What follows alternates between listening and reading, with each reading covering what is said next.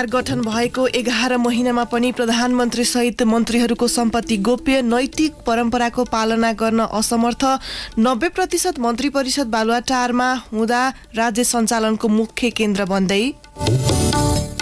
वर्षाका कारण हुने जोखिम न्यूनीकरणको पूर्व तयारी तथा प्रति कार्ययोजना तयारी अवस्थामा रहेको गृह मन्त्रालयको भनाई ढिलाइ गर्दा वा सरकारवाला निकायहरूबीच समन्वय नहुँदा दुर्घटना बढ्ने गरेको विज्ञको भनाई। भू उपयोग नियमावलीबाट भूमि ब्याङ्कलाई सरकारले हटायो उपभोगमा उपयोगमा नरहेको जग्गा न्यून आय भएका परिवारलाई निश्चित शर्तमा उपयोग गर्ने अवधारणा सरकारले नबुझेको आरोप। अमेरिकाको बन्दुक खरिदमा कडाई गर्न अन्तर पार्टी सांसदहरूको गृह कार्य सुरु। एक्काइस वर्ष मुनिकाको बन्दुक खरिदमा कडाई गर्ने तयारी। र साब अन्डर ट्वेन्टी च्याम्पियनसिप र AFC under twenty Asian cup फुटबलको छनौटको लागि नेपाली टोलीमा प्रारम्भिक चरणमा चालिस खेलाडी छनौट बन्द प्रशिक्षण आजबाट सुरु हुँदै। नमस्कार कान्तिपुर डायरीका साथमा साथी रमेश र मकेशु समाचार अब विस्तारमा। प्रधानमन्त्री शेरबहादुर देवाको नेतृत्वमा सरकार गठन भएको ठिक एघार महिना पूरा भएको छ तर अहिलेसम्म देवासहित कुनै पनि मन्त्रीको सम्पत्ति विवरण सार्वजनिक भएको छैन। हरेक मन्त्रीले प्रधानमन्त्री तथा मन्त्री परिषद कार्यालयमा सम्पत्ति विवरण बुझाउने कानुनी बाध्यता छ। सम्पत्ति सार्वजनिक गर्नु गर्न भने मन्त्री परिषदले छुट्टै निर्णय गर्ने परम्परा छ तर वर्तमान सरकारले त्यो नैतिक परम्परालाई सम्मान गर्न आवश्यक ठानेको छैन। कान्तिपुरको सम्पर्कमा आएका सबै मन्त्रीले सम्पत्ति विवरण बुझाइसके पनि मन्त्री परिषद कार्यालयले किन सार्वजनिक नगरेको भन्दै प्रतिप्रश्न गरे गरेका छन्। वन तथा वातावरण मन्त्री राम सहाय प्रसाद यादवले भन्नुभयो मैले मन्त्री भएकै साता सम्पत्ति विवरण प्रधानमन्त्री कार्यालयमा बुझाइसकेको छु। खोइ किन सार्वजनिक भएन? उतै सोध्नु पर्ला भूमि व्यवस्था सहकारी तथा गरिबी निवारण मन्त्री शशि श्रेष्ठले पनि सम्पत्ति विवरण मन्त्री परिषद कार्यालयले सार्वजनिक नगरेकोमा आश्चर्य व्यक्त गर्नुभयो। उहाँले भन्नुभयो मैले जनता सामु मेरो सम्पत्ति सार्वजनिक होस् भनेरै बुझाएकी हुँ तर अहिलेसम्म सार्वजनिक नहुँदा अचम्म लागेको छ। यसबारे आगामी मन्त्री परिषद बैठकमा अवश्य कुरा उठाउनेछु। महिला बालबालिका तथा ज्येष्ठ नागरिक मन्त्री उमा रेग्मीले दुई हजार अठहत्तर असोजमा मन्त्री पदमा नियुक्त भएपछि कानुन अनुसार आफ्नो सम्पत्ति विवरण प्रधानमन्त्री तथा मन्त्री परिषद कार्यालयमा बुझाउनु भयो उहाँका अनुसार आफ्नो सम्पत्तिमा नगद करिब एक करोड अस्सी लाख रहेको उल्लेख गरिएको छ। तर मन्त्री भएपछि करिब अस्सी लाख रुपियाँ झिकिसकिएको उहाँको दावी छ। तर कुन सम्पत्ति कति घोषणा गर्नुभएको थियो भन्ने औपचारिक जानकारी सर्वसाधारण छैन। किनकि उहाँले दिएको विवरण प्रधानमन्त्री तथा मन्त्री परिषद कार्यालयले नै गोप्य राखेको छ जबकि नयाँ आर्थिक वर्षका लागि उहाँले फेरि सम्पत्ति विवरण बुझाउने बेला आउन लागेको छ। अख्तियार दुरुपयोग अनुसन्धान ऐनमा सार्वजनिक पद धारण गरेको व्यक्तिले पद धारण गरेको मितिले साठी दिनभित्र र त्यसपछि आर्थिक वर्ष समाप्त भएको मितिले साठी दिनभित्र आफ्नो वा परिवारका नाममा रहेको सम्पत्ति विवरण तोकिएको निकाय वा अधिकारी समक्ष पेश गर्नुपर्ने उल्लेख छ। अख्तियार दुरुपयोग अनुसन्धान आयोग ऐनमा अनुसन्धानको सिलसिलामा सम्पत्ति विवरण माग हुन आएमा त्यस्तो विवरण सम्बन्धित अधिकारीलाई उपलब्ध गराउनु पर्ने र अन्यथा गोप्य रहने उल्लेख छ। तर प्रधानमन्त्री र मन्त्री भने राजनीतिक जिम्मेवारीमा भएकाले नैतिकता र पारदर्शिता प्रतिको प्रतिबद्धता पूरा गर्न पनि उनीहरूले सम्पत्ति विवरण सार्वजनिक गर्ने अभ्यास छ। तर वर्तमान सरकारले नैतिक प्रश्नलाई बेवास्ता गरेको छ। प्रधानमन्त्री तथा मन्त्री परिषद कार्यालयका अधिकारीहरू भने सम्पत्ति विवरण सार्वजनिक गर्ने विषय कानूनी भन्दा पनि राजनीतिक निर्णयमा भर पर्ने बताउँछन्। मन्त्री परिषद कार्यालयका प्रवक्ता महादेव पन्थ भन्नुहुन्छ सम्पत्ति विवरण खामबन्दी भएर आउँछ एकातिर ऐनले विवरण गोप्य राख्नु भनेको छ अर्कोतिर कुनै पनि मन्त्रीले सम्पत्ति विवरण सार्वजनिक गरिदिनु भन्नुभएको छैन त्यसैले खाम खोलिएको छैन सम्बन्धित पदाधिकारीले अनुमति नदिएसम्म खाम खोल्न पनि मिल्दैन त्यसैले विवरण सार्वजनिक नगरिएको हो। पूर्व मुख्य सचिव विमल कोइराला भने लोकतान्त्रिक व्यवस्था अनुसार सार्वजनिक निकायमा पुगेका पदाधिकारीले नैतिकता र पारदर्शिताका लागि सम्पत्ति विवरण सार्वजनिक गर्नुपर्ने र त्यो उनीहरूको आधारभूत दायित्व हुने प्रश्न पार्नुभयो। त्यस्तो लोकतान्त्रिक पद्धति नैतिक जिम्मेवारी र पारदर्शिताबारे जानकार भएको मन्त्रीहरूले पनि दावी छ। तर सम्पत्ति विवरण भने आवश्यक परे मात्र सार्वजनिक हुने बताउँछन्। प्रधानमन्त्री तथा मन्त्री परिषद कार्यालयका राज्य मन्त्री उमेश श्रेष्ठ धनी भनेर चर्चामा हुनुहुन्छ तर जन जनताप्रति उत्तरदायी हुने शपथ खाएर प्रधानमन्त्री तथा मन्त्री परिषद कार्यालयको जिम्मेवारी लिएका उहाँले सम्पत्ति कति हो भन्ने जानकारी मत गराउनु भएको छैन। उहाँले भन्नुभयो मैले त सात दिनभित्रै विवरण बुझाएको हुँ सायद आवश्यकता पर्यो भने सार्वजनिक होला।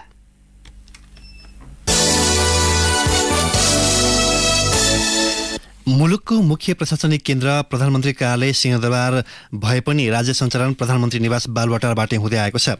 प्रधानमन्त्री शेरबहादुर देउवा सिंहदरबार बिराले आउनुहुन्छ। आएका बेला मन्त्री परिषद बैठक सकिने बित्तिकै बालवाटार फर्कनुहुन्छ। त्यसैले मुख्य सचिव सचिवहरू दैनिक प्रशासनिक कामका लागि बालवाटार धाइरहनुपर्ने बाध्यतामा छन्। पूर्ववर्ती केपी शर्मा ओली नेतृत्वको मन्त्री परिषदको बैठक बालवाटारबाटै हुने गरेको भन्दै कङ्ग्रेस र माओवादी केन्द्रका नेताहरूले आलोचना गरेका थिए। सर्वोच्च अदालतको परमादेशपछि ओलीलाई विस्थापन गरेर प्रधानमन्त्री बनेका कङ्ग्रेस सभापति शेरबहादुर देवालले पनि ओली पथ पछ्याउँदै सरकारी निवासलाई नै राज्य सञ्चालनको प्रमुख केन्द्र बनाउनु भएको हो। मन्त्री परिषद बैठक कहिलेकाहीँ मात्रै सिंहदरबारमा हुने गरेको छ। प्रधानमन्त्री तथा मन्त्री परिषद कार्यालयका एक सचिवले मन्त्री परिषद बैठक र ठूला निर्णय गर्ने छलफल बालुवाटारबाटै भइरहेको बताएका छन्। उनले भने नब्बे प्रतिशत मन्त्री परिषद बैठक बालुवाटारमै हुने गरेको छ। हामी प्रधानमन्त्री भेट्न फाइल चापेर बालुवाटार धाउनुपर्छ।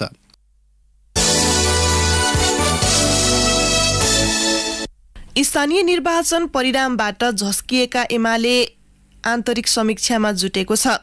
पाँच दलीय गठबन्धनसँग प्रतिस्पर्धा गर्दा दुई हजार चौरात्तरको विरासत गुमेपछि एमाले समीक्षा सहित आगामी निर्वाचन केन्द्रित रणनीति तय गर्न सोमबार सचिवालय बैठक बोलाएको छ। स्थानीय निर्वाचनको मतगणना भइरहेका बेला धाँधली भएको दावी गरेको एमाले अहिले भने अन्तर्घात नै हारको कारण भन्ने चरणमा पुगेको छ। अबको रणनीति बनाउन अध्यक्ष केपी शर्मा ओलीले विभिन्न औपचारिक अनौपचारिक संयन्त्र र भेटघाटमा हुनुहुन्छ। निकट नेताहरूका अनुसार आसन्न निर्वाचनलाई मध्यनजर गरेर ओली अहिले मूलत तीनवटा रणनीति निर्माणमा केन्द्रित हुनुहुन्छ। ती नेताका अनुसार निर्वाचनमा पराजय बेहोर्नुको कारणबारे ओलीले देशभरबाट आफै सूचना संकलन गर्नुभएको छ। त्यसलाई आधार बनाएर पार्टीको आन्तरिक समीकरण र भूमिका हेरफेर गर्ने पहिलो रणनीति छ। नेताहरूका अनुसार ओली पार्टीभित्रकै घातबाट बढी चिन्तित हुनुहुन्छ। यतिसम्म कि आफूले जसरी पनि जित्ने आकलन गरेका महानगर भरतपुर र पोखरामै अन्तर्घात भएपछि उहाँलाई झड्का लागेको छ। संघीय र प्रदेश निर्वाचनमा यस्तै प्रवृत्ति भनेर उहाँले अन्तर्घातबारे समग्र रिपोर्टिङ लिनुभएको छ।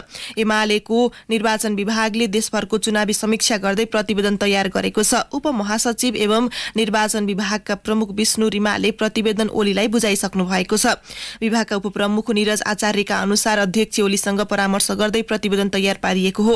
प्रतिवेदनमाथि सचिवालय बैठकमा छलफल हुने भएको छ। प्रतिवेदनमा विभिन्न ठाउँमा भएका अन्तर्घात र हारका कारण सम्बन्धित विषय मुख्य गरी समेटिएका छन्। अन्तर्घात र नेतृत्व विरुद्धको अभिव्यक्ति कारवाहीको विषय हुन सक्छ भनेर ओलीले पार्टीको अनुशासन आयोग मार्फत स्थायी कमिटी सदस्य घनश्याम भूषाललाई स्पष्टीकरण सोध्न लगाएर अन्य नेतालाई पनि सन्देश दिन खोज्नु भएको छ। नेताहरूका अनुसार ओलीको दोस्रो रणनीति अहिलेको गठबन्धन भत्काएर निर्वाचनमा जानेछ। एमाले उच्च स्रोतका अनुसार ओलीले विभिन्न च्यानल मार्फत माओवादी अध्यक्ष पुष्पकमल दाहाल एकीकृत समाजवादीका अध्यक्ष माधव कुमार नेपाल र जसपा संघीय अध्यक्ष बाबुराम भट्टराईलाई समेत सन्देश दिनुभएको छ।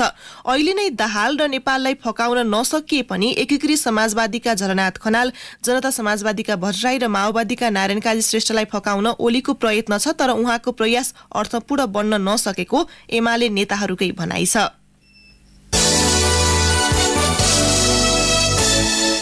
कर्मचारी समायोजनमाथि पटक पटक कानुनी प्रश्न उठेपछि लोकसेवा आयोगले सञ्चालन गर्ने पद पूर्ति प्रक्रिया रोकिँदा तीन वर्षदेखि परीक्षा र नतिजा ठप्प बनेको छ।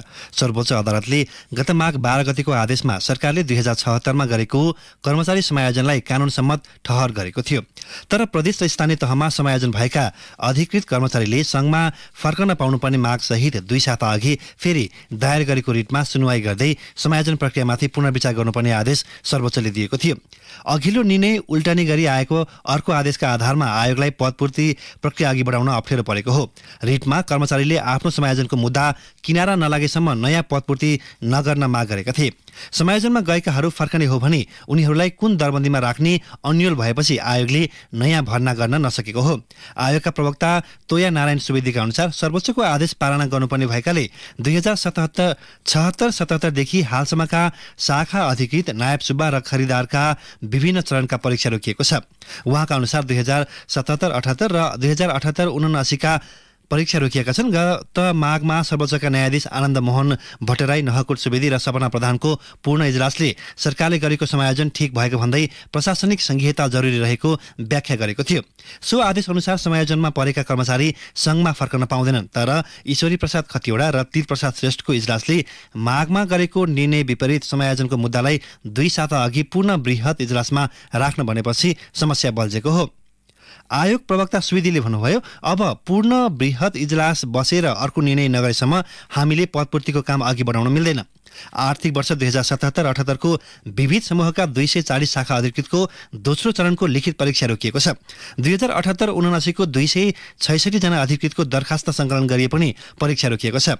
दुई हजार छहत्तर सतहत्तरको झण्डै सात सयजना खरिदका खरिदारका सबै परीक्षा सकिए पनि नतिजा प्रकाशन हुन सकेको छैन। खरिदारको दुई हजार छहत्तर सतहत्तरदेखि अठहत्तर उनासीसम्मको रोकिएको छ।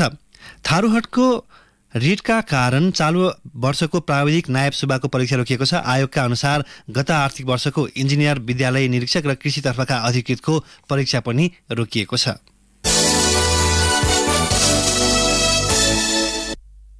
कान्तिपुर डायरीमा अब ब्रेकको पालो। ब्रेकपछि कान्तिपुर डायरीमा अब कान्तिपुर सविस्तार। कान्तिपुर सविस्तार। जल तथा मौसम विज्ञान विभागले यस वर्ष औसतभन्दा धेरै वर्षा हुने प्रक्षेपण गरिसकेको समयमा नेपालको आकाशमा मनसुन भित्रिएको छ। नेपालको हकमा मनसुन र प्राकृतिक विपदको अन्योन्याश्रित सम्बन्ध छ। विपदबाट हुने जोखिम कम गर्न गृह मन्त्रालय अन्तर्गतको राष्ट्रिय विपद जोखिम न्यूनीकरण तथा व्यवस्थापन प्राधिकरणले मनसुन पूर्व तयारी तथा प्रतिकार्य योजना तयार पारेको छ। तर यसलाई सरकारले स्वीकृति प्रदान गर्न बाँकी छ। प्रत्येक वर्ष विपदको पूर्वानुमान हुने गरे पनि न्यूनीकरणका लागि ढिलाइ गर्दा वा सरकारवाला निकायहरूबीच समन्वय अभाव हुने हुँदा घटना बढी हुने गरेको विज्ञहरू बताउँछन्।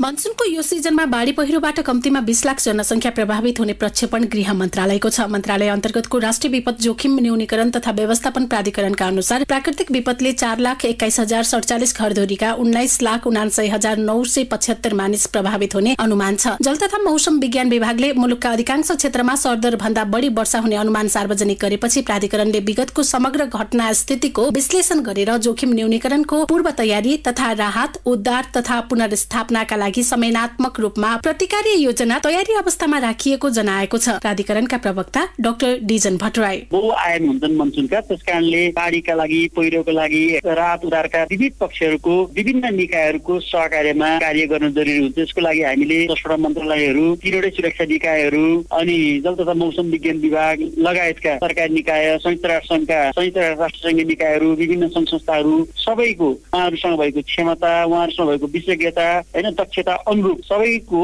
अधिकतम उपयोग गर्ने ढङ्गले चाहिँ विपद पूर्व तयारी प्रतिकारी योजना निर्माण गरेका छौँ। प्राधिकरणले सबैभन्दा बढी प्रदेश एकमा पाँच लाख सत्तरी हजार दुई सय चौरासी मध्य प्रदेशका चार लाख पैसठी हजार चार सय पन्चानब्बे र लुम्बिनीमा तीन लाख उनासी हजार नौ सय दुई जनसङ्ख्या प्रभावित हुने अनुमान गरेको छ। कर्णालीमा सबैभन्दा कम चौवन्न हजार नौ सय पचपन्न जनसङ्ख्या प्रभावित हुने प्रक्षेपण छ। गत वर्ष बाढी पहिरोका कारण चार सय नब्बे जनाको मृत्यु भएको थियो। सत्तरी जना बेपत्ता भएका थिए। मौसम विज्ञान विभाग विभागले यो वर्ष प्रदेश एकको झापा मोरङ सुनसरी र मध्य प्रदेशको सप्तरीमा बढी वर्षा हुने अनुमान गरेको छ। तराईका अन्य क्षेत्रमा सरदरको वर्षा हुने बताइएको छ। बागमती प्रदेशको सिन्धुपाल्चोक र रामेछापमा बढी वर्षा हुने तथा उपत्यकामा सरदर वर्षाको आकलन छ। गण्डकी प्रदेशको दक्षिणी भेगमा सरदर भन्दा बढी वर्षा हुने तथा लुम्बिनी र कर्णाली प्रदेशमा पनि भारी वर्षाको प्रक्षेपण गरिएको छ। बढी वर्षा हुने भनी अनुमान गरिएका जिल्ला सहितका क्षेत्रमा आवश्यक पूर्व तयारी तथा प्रतिकार्य योजना बनिसकेको जल तथा विज्ञान महाशाखा अन्तर्गतको बाढी पूर्वानुमान शाखाको भनाइ छ।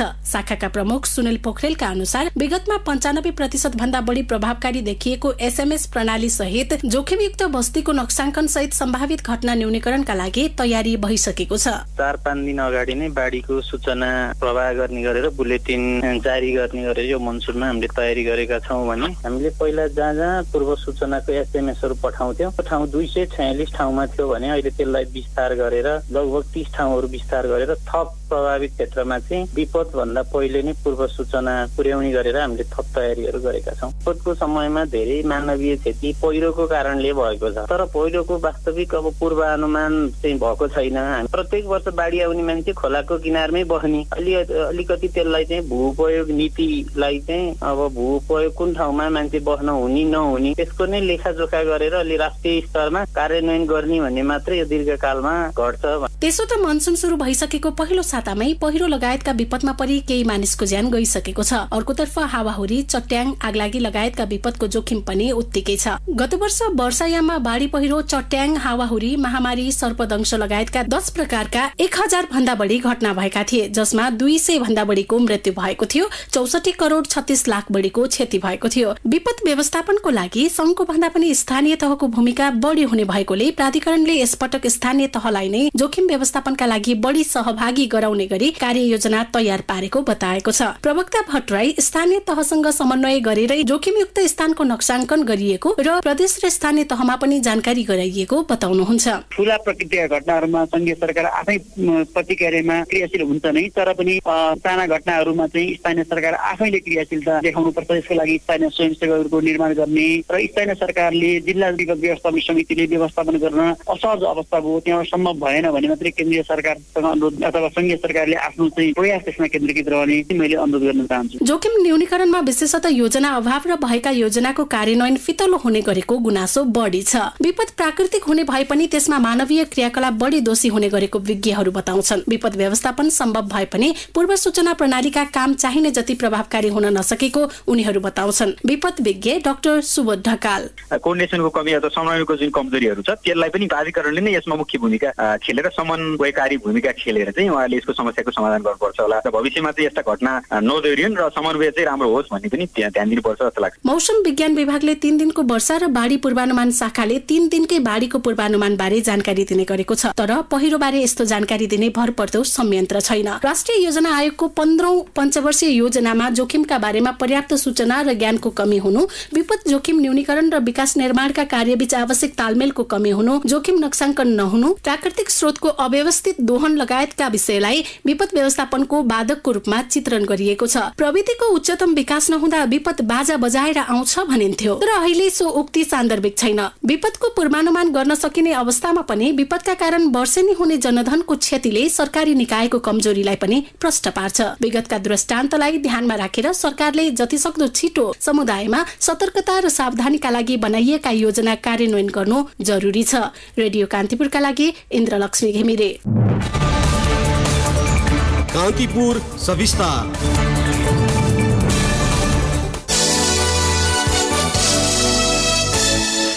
रौतहटको गौर नगरपालिका चार स्थित लाल बकैया नदीको टिकुलिया घाटमा पप्पु कन्स्ट्रक्सनले ठेक्का लिएको पुलको काम सडक डिभिजन कार्यालयले हिजो बन्द गराएको छ। अदालतको आदेश भन्दै सडक कार्यालयलाई जानकारी बिनै पप्पुले ठेक्का तोडिएको पुलको काम धमाधम अघि बढाएपछि स्थानीय प्रशासनको सहयोगमा काम रोकिएको हो। काम बन्द गराउन गएका सुरक्षाकर्मी र निर्माण स्थलमा खटिएका ठेकेदारका प्रतिनिधिबीच केही बेर झोक्का झोकी भएको थियो। ठेकेदार र कार्यालय बीच पुल निर्माण सम्पन्न गर्नुपर्ने म्याद सकिएको पाँच वर्ष हुन लागेको छ। ठेकेदारले सम्झौता अनुसार काम नगरेको र पटक पटक लिखित तथा मौखिक ताकेता गर्दा पनि व्यवस्था गरेकाले सम्झौताको शर्त बमोजिम सडक डिभिजनले यही जेठ दसमा सूचना प्रकाशन गरी ठेक्का तोडिएको जनाएको छ। यसको जानकारी ठेकेदार कम्पनीले पाइसकेको थियो। निर्माणाधीन अवस्थामै पुल अलपत्र पारेर गएको ठेकेदारलाई सडकले काम सुरु गर्न पटक पटक ताकेता गरेको थियो। व्यवस्था गरेपछि बाध्य भएर ठेक्का तोड्नु परेको डिभिजन प्रमुख दरोगा प्रसाद शाहले बताउनुभयो। तनहु हाइड्रो पावर लिमिटेडले बनाइरहेको एक सय चालिस मेगावट उत्पादन क्षमताको तनहु जलविद्युत आयोजनाले तोकिएको समयभित्र निर्माण सम्पन्न गर्न नसक्ने देखिएको छ। ठेकेदार कम्पनीले काममा ढिलासुस्ती गरेपछि आयोजनाको निर्माण सम्पन्न मिति पर धकेलिने भएको हो। काम सुस्त भएपछि अघिल्लो साता मात्रै तनहु हाइड्रो पावर सञ्चालक समितिले आयोजनाका ठेकेदार परामर्शदाता तथा इन्जिनियरहरूलाई बोलाएर तोकिएको समयभित्रै काम सक्ने निर्देशन दिएको छ। विभिन्न तीन प्याकेजमा बाँडेर काम भइरहेको आयोजनामा अहिले सबैभन्दा बढी प्याकेज एकमा समस्या देखिएको छ। प्याकेज एक अन्तर्गत बाँध र जलाशयको काम भियतनामको सोङ दा कर्पोरेसन र नेपालको कालिका कन्स्ट्रक्सनले संयुक्त उपक्रम मा काम गरिरहेको छ। यो ठेकेदार कम्पनीले काममा हेलचेक्राई गर्न थालेपछि नदीको धार परिवर्तन डाइभर्सन टनेल स्लोप प्रोटेक्सन लगायतका काम सुस्त छन्। प्याकेज एक अन्तर्गतका काम प्रभावित हुनुमा डिजाइन परिवर्तन र साइट क्लियरेन्स मुख्य कारण रहेको तनहु हाइड्रो पावर लिमिटेडका प्रबन्ध निर्देशक किरण कुमार श्रेष्ठले बताउनुभयो। पृथ्वी राजमार्ग अन्तर्गत मुगलिन आबु खरिनी सडक खण्डमा दस घण्टापछि आवागमन पुनः खुल्ला भएको छ। गत शुक्रबार आबु खरिनी चार साखर स्थित विद्युत गृह नजिकै सडक भाँसिएपछि यातायात अवरुद्ध भएको थियो। कुनातिरको पहिरो काटेर सडक बनाउन साँझ सात बजेदेखि बिहान पाँच बजेसम्मका लागि आवागमन बन्द गरिएको थियो। जिल्ला प्रशासन कार्यालय तनहुले साना सवारीलाई बिहान पाँच बजेदेखि सात बजेसम्म मात्र सञ्चालन गर्न आग्रह गरेको थियो भने ठूला र मालवाहकलाई वैकल्पिक बाटोको प्रयोग गर्न आग्रह गरेको थियो। करिब तीन मिटर परसम्म पहिरो काटेर एकतर्फी बाटो बनिसकेको हुनाले सो खण्डमा सबै प्रकारका सवारीका लागि आवागमन खुलाइएको निमित्त प्रमुख जिल्ला अधिकारी काँचीराम गरेले बताउनुभयो। उहाँका अनुसार मुगलिन आबु खरिनी खण्डमा आवागमन खुला भए पनि सो राजमार्गको याम्फा फाँडदेखि घाँसीकुवा खण्डमा भने राति एघार बजेदेखि बिहान चार बजेसम्म बन्द गरिएको छ। कान्तिपुर डायरीमा पुनः ब्रेकको पालो। अब आर्थिक प्रसङ्ग सरकारले भू उपयोग नियमावलीमा भूमि ब्याङ्कलाई हटाएको छ। भू उपयोग ऐन दुई हजार छिहत्तरको दफा एक्काइसमा भूमि ब्याङ्क सम्बन्धी व्यवस्था थियो तर जेठ तेइसमा जारी नियमावलीमा भूमि ब्याङ्क सम्बन्धी केही उल्लेख छैन। भूमि मन्त्रालयले भने भूमि ब्याङ्क नहटाइएको दावी गर्दै आएको छ। नियमावली पेश गर्दा भूमि ब्याङ्कलाई समावेश गरिए पनि पास भएर आउँदा हटेर आएको मन्त्रालयकै एक कर्मचारी बताउँछन्। ऐनमा भनिएको छ भू उपयोग वर्गीकरण सम्बन्धी व्यवस्था कार्यान्वयन गर्न भूमिको अधिकतम उपयोग गरेर उत्पादकत्व वृद्धि गर्न नेपाल सरकारले आवश्यकता अनुसार स्थानीय तहमा भूमि ब्याङ्क स्थापना गर्न सक्नेछ र भूमि ब्याङ्क सम्बन्धी अन्य व्यवस्था तोकिए बमोजिम हुनेछ। पूर्व भूमि मन्त्री पद्म अर्यालको कार्यकालमा सरकारले भूमि ब्याङ्कलाई अघि बढाउन खोजेको थियो। अर्यालले दुई हजार सतहत्तर भदौमै भूमि ब्याङ्क सञ्चालन सम्बन्धी अवधारणा समेत सार्वजनिक गर्नुभएको थियो। सरकारले सो अवधारणामा उद्देश्यदेखि लाभग्राही र बजेट व्यवस्थापनसम्म उल्लेख गरिए पनि अब भूमि ब्याङ्क के हुन्छ भन्ने नियमावलीमा उल्लेख छैन। उहाँले भूमि मन्त्रालयका सचिव रामप्रसाद थपलियाले भने भूमि ब्याङ्क नहटाइएको दावी गर्नुभयो। उहाँले भन्नुभयो भूमि ब्याङ्क हटाइएको छैन थप्न बाँकी छ। बाँझो जमिनलाई उत्पादनमा लगाउने र उत्पादन वृद्धि गर्नु नै भूमि ब्याङ्कको प्रमुख उद्देश्य हो। उपयोगमा नरहेको जग्गा न्यून आय भएका गरिब किसान तथा सीमान्तकृत परिवारलाई निश्चित शर्त र सुविधा सहित उपयोग गर्न दिने र निष्क्रिय भूमिको उपयोग मार्फत वैदेशिक रोजगारीबाट फर्केका लगायत ग्रामीण युवाका लागि स्थानीय स्तरमा रोजगार सिर्जना गर्ने समेत ब्याङ्कको अवधारणामा उल्लेख छ तर नियमावली भूमि ब्याङ्क सम्बन्धी मौन छन्। झण्डै आठ वर्षको अनुसन्धानपछि सरकारले धानका दुई नयाँ उन्नत जात विकास गरेको छ। खुमल्टा नामक धानको जातमा रोग किरा लाग्ने उत्पादन घट्ने समस्या देखिएपछि नेपाल कृषि अनुसन्धान परिषद नागका वैज्ञानिकले थप दुई नयाँ जात विकास गरेका हुन्। नाग अन्तर्गत राष्ट्रिय बाली तथा आनुवंशिक अनुसन्धान केन्द्रले विकास गरेको सो जात राष्ट्रिय विविजन समितिले अनुमोदन गरी राजपत्रमा प्रकाशन भइसकेको छ।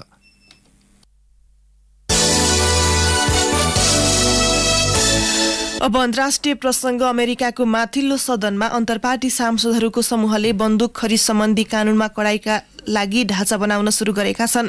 एक्काइस वर्षभन्दा कम उमेरका व्यक्तिले बन्दुक खरिद गर्दा कडा जाँचको आवश्यकता पर्ने बारे कानूनमा व्यवस्था गर्ने तयारी भइरहेको छ। अमेरिकामा पछिल्लो एक महिनामा भएको गोलीबारीमा घटनाका अभियुक्त दुवैजना एक्काइस वर्ष मुनिका युवक हुन्। विपक्षी दल रिपब्लिकनका दसजना सांसदको सहयोगमा कानून संशोधन हुने बाटो खुलेको हो। राष्ट्रपति जो बाइडेनले सदनबाट शुरू भएको प्रयास सकारात्मक भएपछि बन्दुक खरिद सम्बन्धी कानूनलाई अझै कडा पार्ने कानूनको आवश्यकता रहेको बताउनु भएको छ। अब खेल प्रसङ्ग साफ अन्डर ट्वेन्टी च्याम्पियनसिप र AFC under twenty Asian cup फुटबलको छनौटका लागि नेपाली अन्डर ट्वेन्टी टोलीका मुख्य प्रशिक्षक मेघराज केसीले प्रारम्भिक चरणमा चालिस खेलाडीको छनौट गरेका छन्। एक साता लामो छनौटबाट प्रशिक्षक केसीले चालिस खेलाडीलाई प्रारम्भिक चरणको बन्द प्रशिक्षणमा सामेल गर्ने निर्णय गरेका हुन्। टोलीमा छ गोलरक्षक तेह्र डिफेन्डर चौध मिडफिल्डर र सात फरवार्ड छन्। जेठ एक्काइसबाट भएको खेलाडी छनौटमा अटाएका चालिसजनाको प्रशिक्षण आजबाट सुरु हुने अखिल नेपाल फुटबल सङ्घ एन्फाले जनाएको छ। अन्डर ट्वेन्टी साफ च्याम्पियनसिप भारतमा पच्चिस जुलाईदेखि तीन अगस्तसम्म हुँदैछ। नेपालले मालदिवसँग पच्चिस जुलाईमा श्रीलङ्कासँग सत्ताइस जुलाईमा एकतिस जुलाईमा भारत र दुई अगस्तमा बङ्गलादेशसँग खेल्ने तालिका छ। यस्तै बहराइनमा सेप्टेम्बर दसदेखि अठारसम्म हुने AFC under twenty Asian cup छनौटमा नेपालले बङ्गलादेश कतार बहराइन र भुटानसँग खेल्नेछ। अब मौसम सम्बन्धी जानकारी काठमाडौँ उपत्यका सहित मुलुकका अधिकांश भूभागमा आंशिकदेखि सामान्य बदली हुने जल तथा मौसम विज्ञान विभागले जनाएको छ। प्रदेश एक मध्य प्रदेश बागमती र गण्डकी प्रदेशका केही स्थानमा मेघगर्जन चट्याङ सहित हल्कादेखि मध्यम वर्षाको सम्भावना रहेको विभागको अनुमान छ। केही बेर अघि बिस डिग्री सेल्सियस मापन गरिएको काठमाडौँ उपत्यकाको अधिकतम तापक्रम आज सत्ताइस डिग्री सेल्सियससम्म पुग्नेछ। सूर्योदय बिहान पाँच बजेर सात मिनटमा भयो भने सूर्यास्त साँझ सात बजे हुनेछ। हवस् त यिनै प्रसङ्गसहित कान्तिपुर डायरीको यो बुलेटिन अहिलेलाई यही सकिन्छ। साथी रमेश र म के सुविधा हुन्छौ। नमस्कार।